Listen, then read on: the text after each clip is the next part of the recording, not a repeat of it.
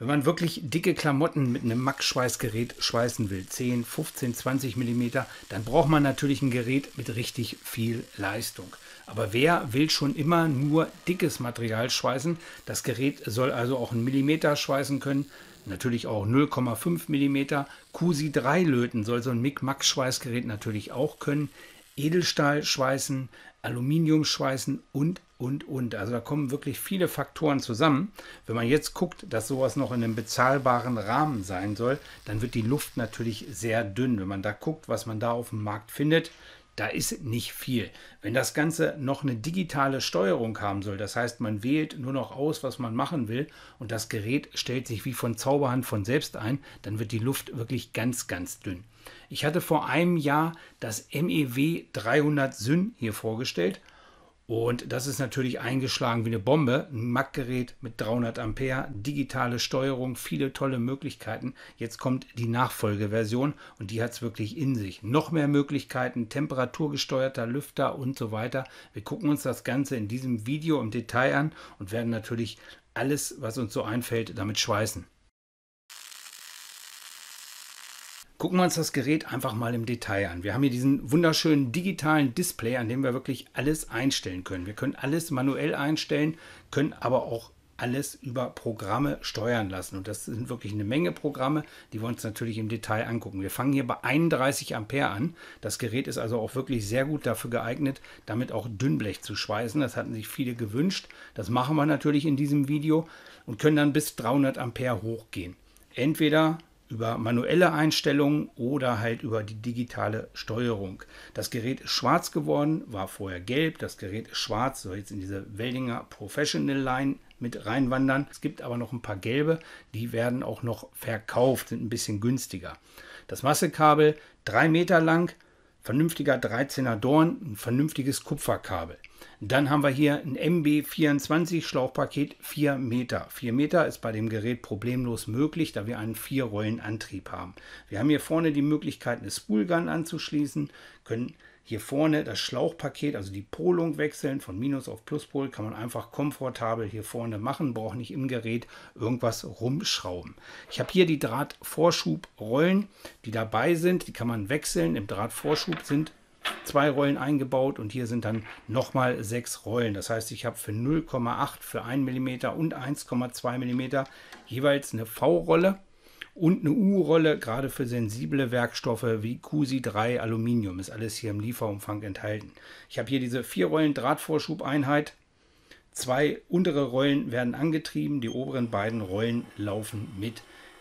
Wir können an dem Gerät 5 Kilo Rollen verschweißen und auch 15 Kilo Rollen. Man kann aber auch problemlos mit dem Adapter 1 Kilo Rollen verschweißen, geht auch. Werde ich natürlich nachher auch alles im Detail vormachen. Sehr schöne, qualitativ hochwertige Drahtvorschubeinheit. Das Herzstück von diesem Gerät ist definitiv die Steuerung. Man braucht hier nicht viel erklären, man muss einfach nur auswählen, was man machen will und dann schweißt dieses Gerät. Das heißt, ich gehe hier mit diesem Button in dieses Grundmenü rein. Jetzt kann ich hier durchwählen, was ich machen will. Stahl mit CO2, Stahl mit Argon. Dann habe ich hier ein manuelles Einstellprogramm. Dann haben wir Aluminium, das hatten wir vorher auch schon. Wir haben jetzt ein QSI 3 Programm bekommen.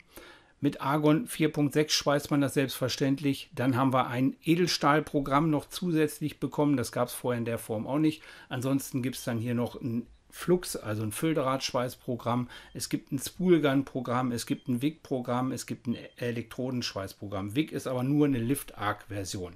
Kann man mit dem Gerät auch machen, ist aber nichts, was jetzt so atemberaubend ist. Also das Gerät hat andere Vorzüge. Jetzt brauche ich eigentlich nur auswählen, was ich machen will. Zum Beispiel Stahl mit Argon CO2, gehe in das Programm rein. Jetzt habe ich den rechten Drehregler und damit kann ich alles einstellen. Ein bisschen mehr, ein bisschen weniger. Ich sehe Spannung, ich sehe Ampere, ich sehe Drahtvorschub. Das heißt, alle Parameter sehe ich. Meistens geht man nach Ampere. Stelle ich jetzt einfach die Ampere ein und dann kann ich schon losschweißen. Ich habe jetzt auch noch die verschiedensten Möglichkeiten, den Prozess zu optimieren. Das heißt, hier links kann ich die Spannung variieren. Mit weniger Spannung fokussiere ich den Lichtbogen, mit mehr Spannung kriege ich einen breiteren Lichtbogen. Kann das Ganze also da wirklich nochmal verändern, anpassen. Wenn es mir vom Schweißen her nicht ganz so gut gefällt, kann ich das Ganze optimieren. Das ist aber wirklich schon alles, was man an dem Gerät machen muss. Ich kann hier die Induktion einstellen. Ich kann dann hier auswählen, welche Drahtstärke ich wähle. Da ist immer 0,8, 0,9, 1 mm, 1,2 mm, was ich auswählen kann. Das Gerät passt dann alle Parameter an. Ich kann mit Zweitakt schweißen, ich kann mit Viertakt schweißen kann hier die Gas-Nachströmzeit verändern. Das ist gerade interessant, wenn man zum Beispiel Edelstahl schweißt oder dergleichen. Kann hier ähm, den Softstart vom Draht starten und ich kann dann ganz am Ende dann auch ähm, den Drahtvorschub einstellen, damit der Draht in, den, in das Schlauchpaket gefördert wird. Das ist noch so eine Möglichkeit, aber es ist wirklich sehr einfach gehalten. Man hat aber wirklich in die Tiefe tolle Möglichkeiten, was man da alles einstellen kann. Also man sieht schon an diesem Beispiel, man hat hier eine gute Umsetzung geschafft, dass man bei dem Gerät möglichst viele Parameter einstellen kann, anpassen kann und gleichzeitig ist es wirklich sowas von einfach. Das kann wirklich jeder einstellen. Also es ist wirklich kein Hexenwerk. Man braucht hier nur reingehen. Jetzt bin ich hier bei QSI 3 löten. Das ist auch eins der neuen Programme, was dazugekommen ist. Und jetzt kann ich das hier genauso wieder einstellen und kann damit einfach losschweißen. Standardmäßig immer bei Null und den ganzen Prozess, also von der Spannung her und den ganzen Prozess, kann man, wenn es nicht hundertprozentig schweißt, wenn man es noch ein bisschen verändern möchte, immer noch mal anpassen. Die kleine Story jetzt, die gehört eigentlich nicht mit zu dem Gerät oder nur indirekt mit dem Gerät, weil ich habe einen 1,2 mm Schweißdraht gehabt auf einer 15 Kilo Rolle. Der wurde mir mal als Muster zur Verfügung gestellt in 1,2 mm Stärke. Dachte ich, das ist richtig super für das Gerät schweiße damit. Ich habe das Ganze gerüstet, ich habe es eingestellt, ich habe versucht damit zu schweißen. Es hat nicht funktioniert. Ich habe alles an diesem Gerät umgebaut, ich habe alles nochmal gerüstet, ich habe das Gas überprüft und, und, und. Und es hat nicht hingehauen. Ich habe mir sogar noch so ein schönes Stück, was ich extra vorbereitet hatte, das ich in der Drehvorrichtung schweißen wollte. Das sieht dann oft mit so dicken Draht richtig gut aus. Hab nicht hingehauen, ich habe es nicht hingekriegt, ich weiß es nicht. Bin verrückt geworden, mir hat mir den ganzen Tag versaut. Ich habe dann die Rolle genommen, bin zu einem Freund gefahren, der hat ein High-End Mic-Max-Schweißgerät, wo man auch solche großen Rollen mit aufnehmen kann. Wir haben es da ausprobiert. Ich war dann wieder glücklich, weil da haben wir es auch überhaupt nicht hingekriegt. Ich habe die Rolle weggeschmissen, ich weiß es nicht.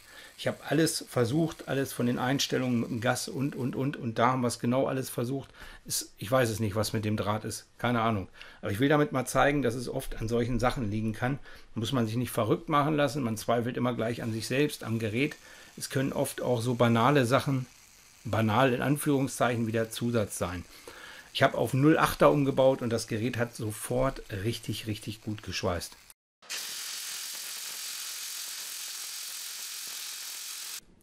Diese Drehvorrichtung, die werden wir uns natürlich auch bei Gelegenheit mal ein bisschen näher angucken. Also es ist wirklich auch eine ganz tolle Möglichkeit zum Schweißen, um damit verschiedene Arbeiten auszuführen.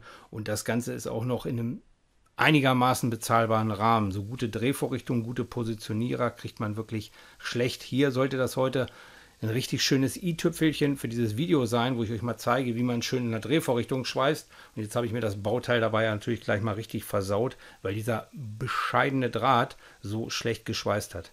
Das ist jetzt hier dann mit 0,8er, habe ich aber schon so ein Stück geschweißt gehabt mit dem 1,2 mm Draht und das hat dann wirklich gleich sehr gut funktioniert. Ergebnis sieht auch gut aus, kann man vernünftig schweißen. Ein paar Spritzer sind noch da, das ist halt beim Micmac-Schweißen so, aber ansonsten hat das sehr gut funktioniert. Ich habe jetzt hier 10 mm Materialstärke, 0,8 mm Schweißdraht und schweiße hier mit 230 Ampere. 230 Ampere sind bei dem Gerät 100% Einschaltdauer. Das heißt, ich kann dauerhaft mit 230 Ampere schweißen. Und selbst bei 300 Ampere habe ich noch 60% Einschaltdauer. Also Einschaltdauer ist bei dem Gerät wirklich gigantisch und das Ergebnis sieht auch traumhaft aus. Also funktioniert wirklich gut. Und man sieht an den Einstellungen am Gerät, ich habe da wirklich nur minimal die Spannung nochmal angepasst. Das ist aber, ich bin ein Spielkalb, aber an sich schweißt das wirklich mit diesen Standardeinstellungen schon sehr gut. Auswählen, schweißen, es funktioniert. Dickes Material mit einem 1 mm Draht habe ich im ersten Video zu dem Gerät sehr viel geschweißt. Das kann man hier nochmal verlinken, könnt ihr euch alles nochmal angucken. Wir wollen uns natürlich auch andere Sachen bei dem Gerät jetzt angucken. Aluminiumschweißen ist natürlich auch immer eine sehr interessante Sache. Ganz großer Vorteil bei einem MIG-MAG-Schweißgerät wie dem hier, ich wähle einfach aus, was ich machen will dann stelle ich einfach meine Ampere ein und dann kann ich losschweißen. Ich habe ein Schlauchpaket mit der Teflonseele gerüstet. Ich habe Argon 4.6 als Schutzgas und das war es im Prinzip und dann kann ich loslegen. Ich habe das Aluminium, das ist hier 6 mm Flachmaterial. Ich habe das auch nicht sonderlich in irgendeiner Form gereinigt. Einfach abgeschnitten, den gröbsten Dreck entfernt und dann kann man damit Aluminium schweißen. Funktioniert sehr gut mit dem MIG-MAX-Schweißgerät, ist das gleiche, als was, wenn man im Prinzip Stahl schweißt. Also braucht man keine großartige Übung. Und gerade wenn man bedenkt, wie lange Leute dafür üben müssen, bis sie mit einem WIG-Schweißgerät erste Nähte hinkriegen, ist das natürlich immer eine tolle Option. Macht das Gerät hier auch völlig problemlos. Sieht man an den Ergebnissen, das sieht wirklich gut aus. Es ist eigentlich schon deutlich zu viel Leistung. Aber ich wollte natürlich auch über diese Grenze gehen. Man könnte da problemlos auch halt 10, 15 mm oder noch mehr Aluminium mit schweißen. So, das ist ein Ding. Man könnte natürlich auch mit einem 0,8er Draht deutlich tiefer runtergehen. Puls oder dergleichen oder Doppelpuls hat das Gerät in der Form nicht. Das muss man natürlich auch sagen. Ich kann mit dem Gerät mit der Spannung bis in den Sprühlichtbogen hochgehen, wenn ich damit schweißen will. Aber die Option Puls gibt es bei dem Gerät nicht. Aber man sieht hier, das schweißt trotzdem sehr, sehr gut Aluminium. Also es sind wirklich schöne Ergebnisse, auch wenn die Naht schon so ein bisschen sehr stark aufgebaut hat, weil ich halt auch so viel Leistung genommen habe. Das ist jetzt eine 1 Kilogramm QC3-Rolle in 0,8 mm Drahtstärke. Die habe ich einfach mit so einem Magnetadapter da eingebaut. Den kriegt man auch bei Haus und Werkstatt 24. Das ist eine sehr praktische Sache. Jetzt wähle ich das QC3-Programm. Ich muss dann halt den 0,8 mm Draht einfach nur auswählen und dann kann ich auch im Prinzip hier mit QSI 3 löten. Habe dieses schöne neue QSI 3 Programm. Ist natürlich auch spannend, wie gut das Ganze funktioniert, wie gut dieses Gerät QSI 3 lötet. QSI 3 löten ist auch wieder wichtig. Argon 4.6 steht oben extra nochmal bei der Bezeichnung und ein Schlauchpaket mit einer Teflonseele und dann kann man da loslegen. Das sind jetzt zwei einfache Stahlrohre, die habe ich als erstes einfach mal zum Probieren QSI 3 gelötet. Ganz großer Vorteil, ich kann die verschiedensten Werkstoffe miteinander verlöten. So, da sind ein paar Spritzer, also Einstellung noch mal ein bisschen angepasst.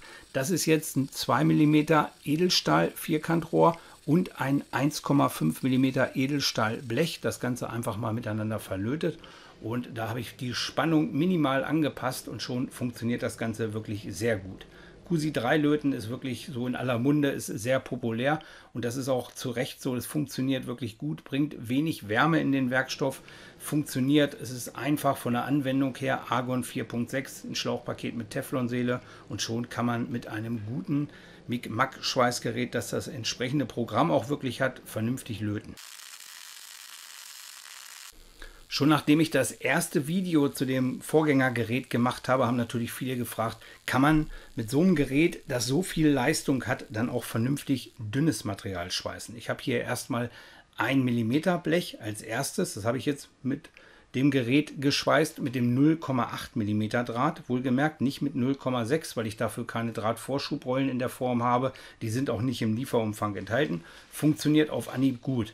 Habe jetzt hier zwei, drei Bleche geschweißt habe jetzt hier 0,6 mm Blech. Also soll auch ein bisschen herausfordernd sein. Das Gerät kann man wie gesagt bis auf 31 Ampere runterregulieren. Warum es nicht 30 sind, sondern 31 kann ich nicht sagen. Und jetzt schweiße ich hier einfach mal 0,6 mm Blech. Das heißt, ich punkte hier nicht, ich mache nicht nur eine Stückschweißung, ich schweiße das Ganze einmal komplett und das funktioniert hier auch auf Anhieb wirklich sehr gut.